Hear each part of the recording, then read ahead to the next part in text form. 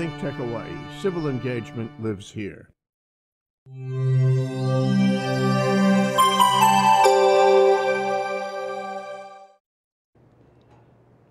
Good afternoon, Howard Wiig, Code Green, Think Tech Hawaii. I have a very, very interesting guest today, Trung Lam, who's the CFO of La Tour Bakehouse. Now, what is an energy show doing featuring a bakehouse? Well, talk about energy efficiency. But before we get into the program, uh, Trung is a very, very interesting fellow because he's second generation, and he, both of his parents were uh, boat people who had to escape from Vietnam. That's correct. Yes, yep. And had a hard time of it, and they're in America, and this is a success story, a success story. It's been my observation that most of the time immigrants just are go above us head and shoulders, us uh, native born, because we take America for granted. Immigrants know the alternative to America and they really appreciate it and they work like heck and they make us all look good. So, welcome to the program, Trung. Thanks Oh. for uh, com coming on board here. Thank you, Howard, for having me. So, tell us, uh, I'm, I'm always interested in immigrant stories, so tell us uh, a bit about your mom and dad and how the, the bakehouse uh, got started initially. Sure thing. Uh, I just want to make one point. You mentioned how you notice a lot of immigrants tend to work harder than a lot of mm-hmm. native borns. And I, I'm native born, I'm second generation, and, I, and I mm-hmm. see it all the time. and I talk to my dad, because at work we'll have our, our corporate meetings and we'll, we'll, we'll mm-hmm. try to make group decisions together. And he tends to be more on the risk taking side as more to risk adverse like me. And I asked him, Dad, why are you willing to take these risks? And he always says, you know, when I was in Vietnam. So not only is my father in Vietnam, but he was actually homeless for a period of time when he was in Vietnam as a child. He was kicked out and he was on the streets. So he tells me, like, no matter how much I lose in America, it still will never be as bad as I had it in Vietnam. So definitely they had a really hard, difficult life in Vietnam. Yeah, I, I was in uh, Saigon many, many, many years ago, and I would see these street kids uh, begging or trying to shine shoes or something like that. That would be like my dad. Yeah, he was selling lottery tickets. That was his. That was his spiel. Ah, wow. So uh, yeah, my parents both came in Vietnam. Uh, They came in the late 70s. Uh, actually immigrated to California before they came to Hawaii. And my father, um, you know, he, he runs a bakery now, but he didn't start that way. When he came to the U.S., he picked up uh, different jobs here and there. He actually worked for Intel for a period of time. Not as an engineer, just on the plant floor, uh, helping with whatever odds and ends they needed. But he always wanted to have his own business, so he left that and he actually started a, uh, a tour bus business that drove uh, people from San Jose, which is where they live, to Reno. And that was his, his own business. He bought a, he bought a shuttle, uh, shuttle bus and did that for a while. And during that time of his life, he met someone who owned a sandwich shop. And they became good friends. My father started offering sandwiches on his shuttle bus because there was more competition. So he said, How do I differentiate my business than someone else? I'm going to offer free sandwiches to all my riders.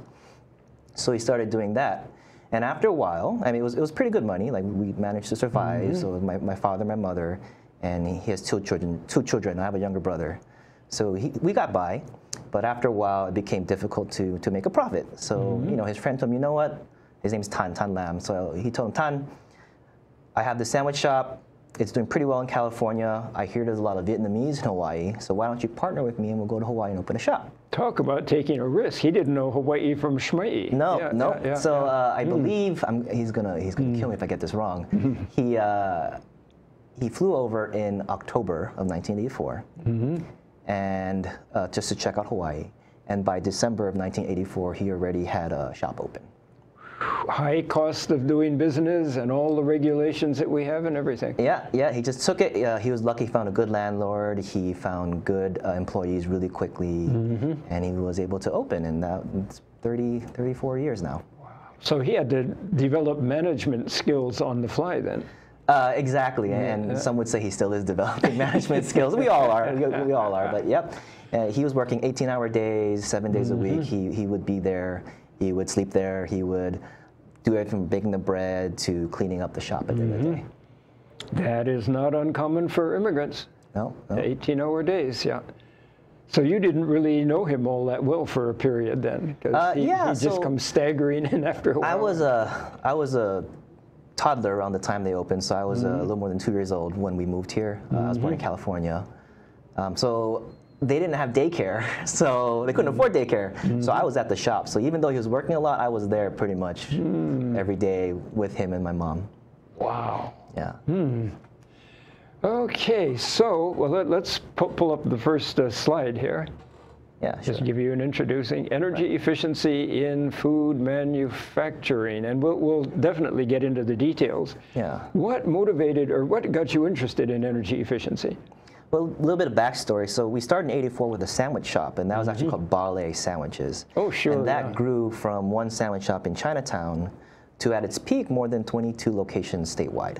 Good Lord, this is just you or your dad and mom and Uh, you know, so we, we, we had a lot of employees. My father also has six brothers, uh, and my mom has some siblings as well. So a lot of them came to Hawaii to live, and they wanted something to do.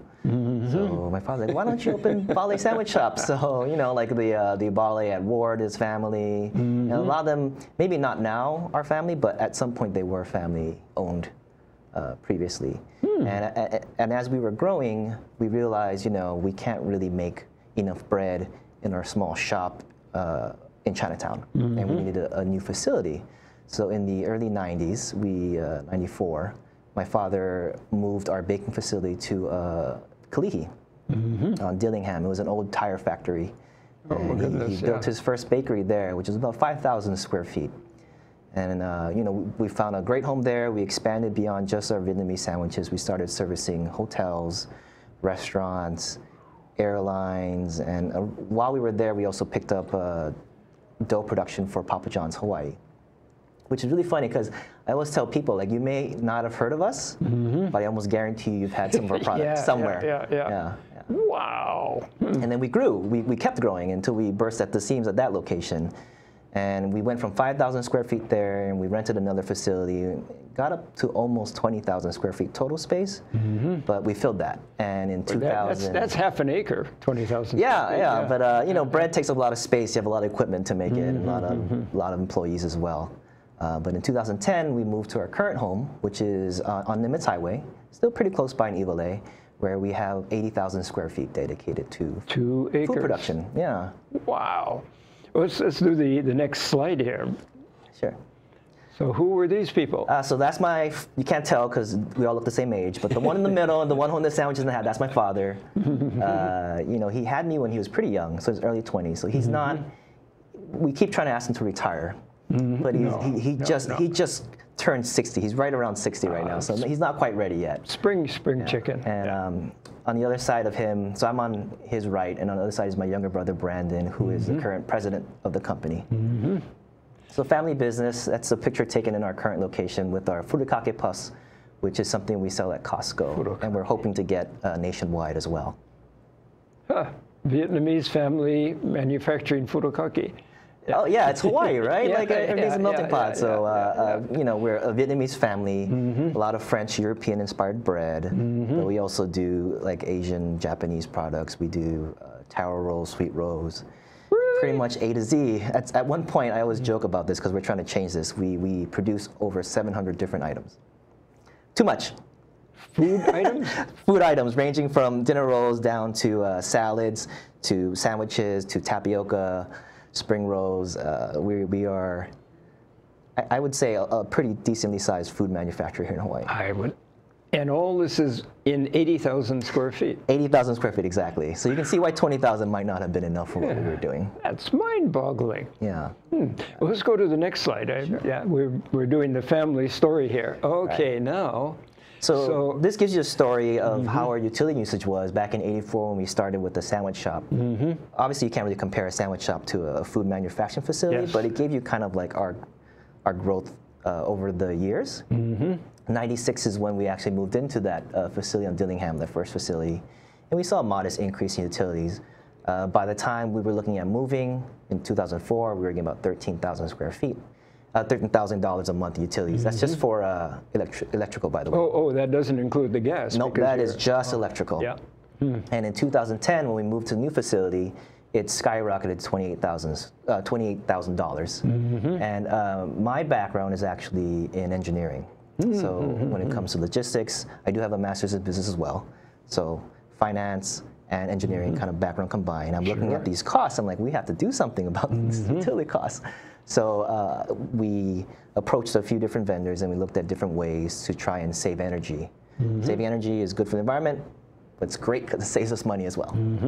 Yeah. So we, uh, the biggest uh, project we did was a PV system, and that was about 300 uh, kilowatt hour system. Pretty sizable system. That's a good size, yeah. Yeah, yeah. And this And is you, back you've got when- plenty of roof space, that, that's for sure. Right, Yeah, right. So yeah, we were in the on Nimitz Highway. There's the, the Dole boxing facility back in the day. So it's a Mm-hmm. big square box, and we had about half the roof to fill with PV, Hmm. and uh, we did. And we were actually one of the first people to do what's called the uh, the FIT system, the feed-in tariff uh, system. Uh, yeah, yeah, yeah, yeah, Right now, it's gone uh, mm-hmm. uh, and replaced by the NEM system, which we also had.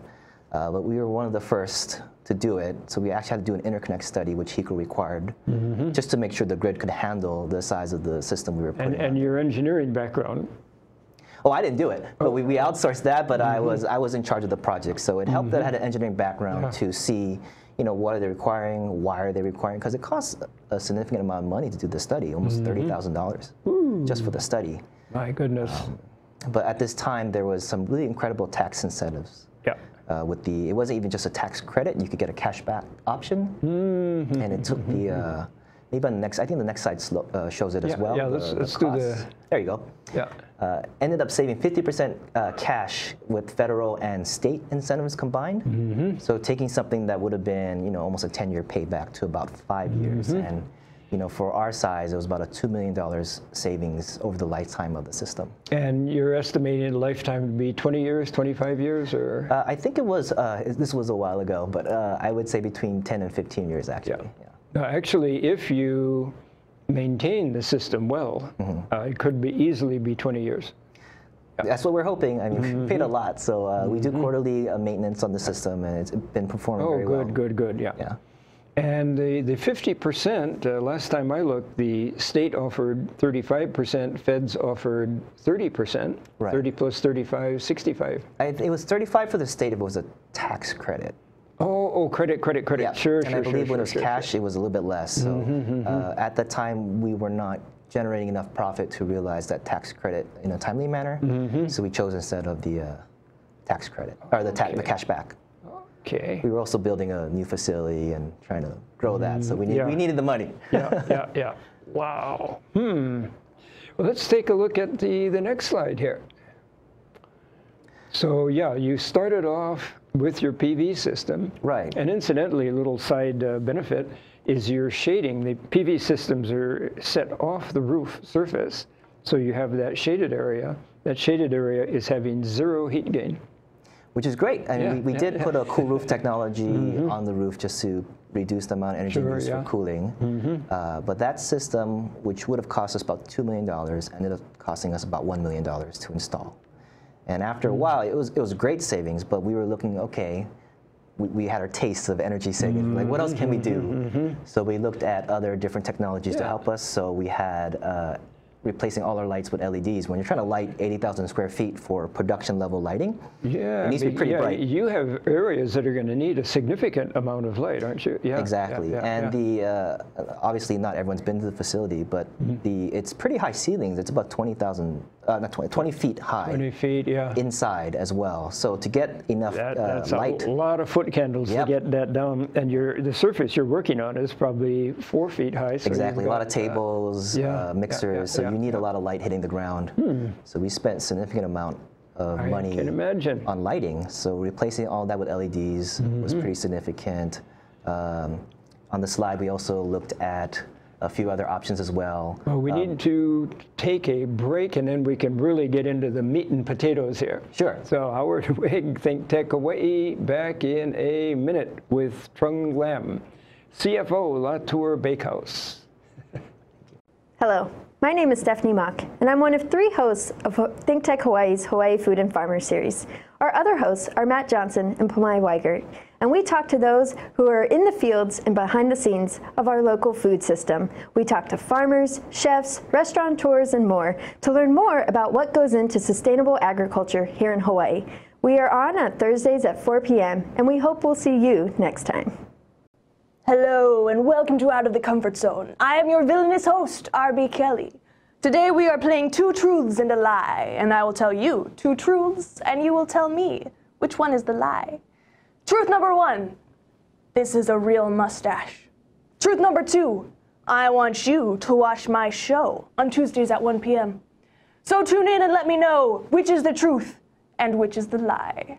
I'm RB Kelly with Out of the Comfort Zone and show up next Tuesday to see my mustache live.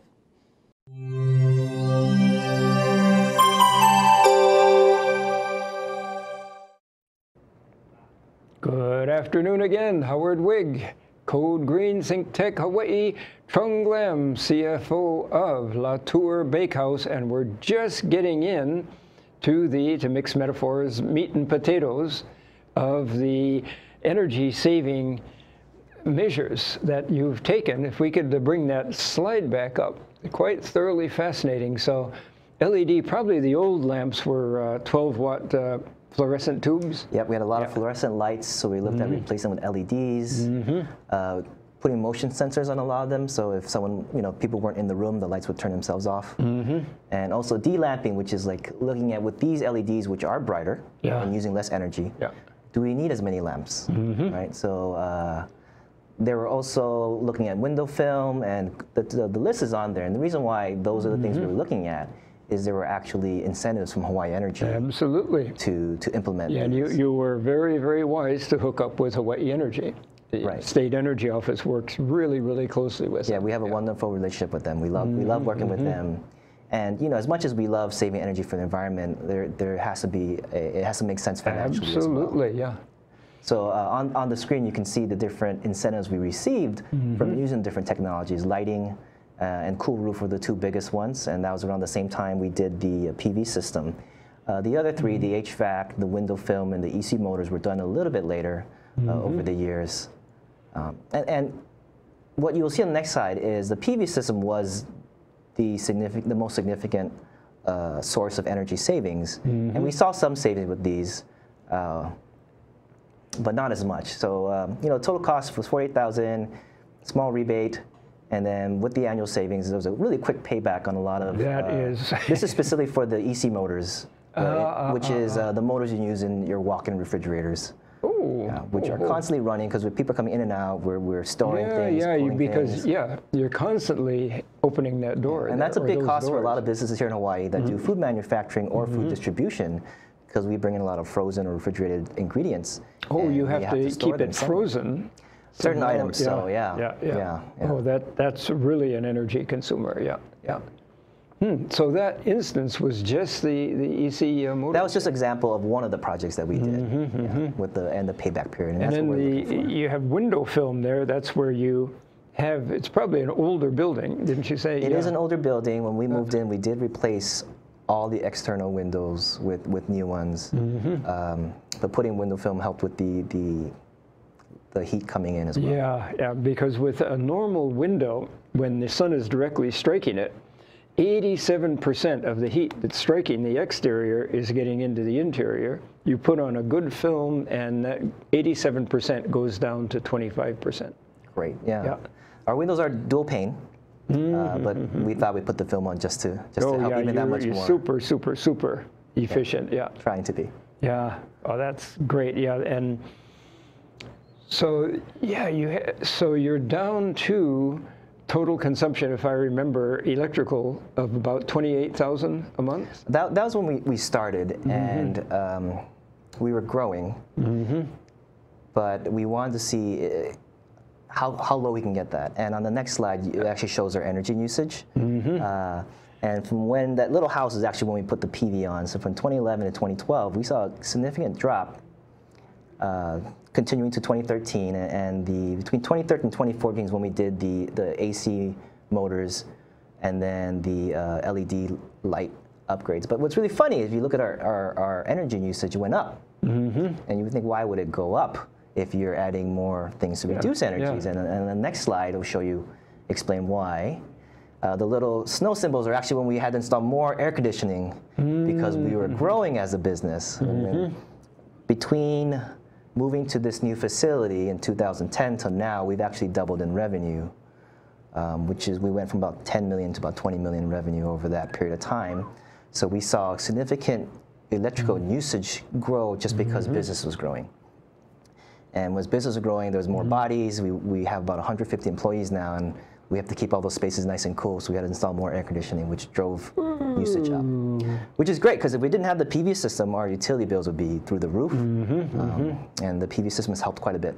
Wow. And how many kW is the PV system? Uh, Yeah, it's 300 split into two yeah. systems. The feed-in tariff system was limited to about 200, uh, the size kilowatts. Uh, yeah. So we had to have a secondary NEM system, about 100 kilowatt system. Could we go back to that uh, last slide there? So the, so what is the line there? So on the left, it's it's, it's uh, two y-axes. On the left is actually the usage. Okay, okay, hours, percentage of revenue. Right, which is the um, yeah, and on the right is the percentage of revenue. Mhm. So we use more electricity, but percentage of revenue was kept low because we were growing at the same time. So it's kind of like this: you want to save energy because it's good for the environment, but it has to mm-hmm. make financial sense. Absolutely, absolutely, yeah. As long as your business is growing, it makes sense to invest in these technologies mm-hmm. because as a percentage of revenue, which is how most businesses look at their utility costs, mm-hmm. if you can keep that down, of course you can. You should invest in, in technologies to help your business run more efficiently.